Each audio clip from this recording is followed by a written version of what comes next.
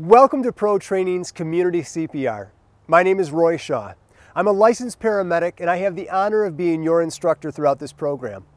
We designed Community CPR specifically for you so that you can cover the vital skills of infant, child, and adult CPR in a location and at a time that's best for you to learn, not that which is best for the instructor.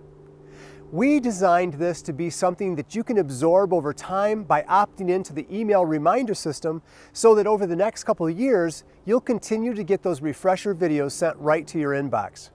I'm excited to be your instructor, so let's begin.